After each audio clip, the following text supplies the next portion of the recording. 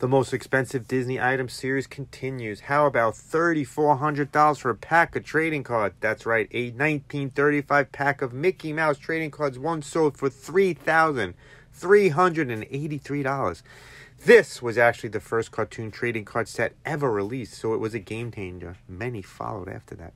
Subscribe for more. Thanks for watching. We appreciate you.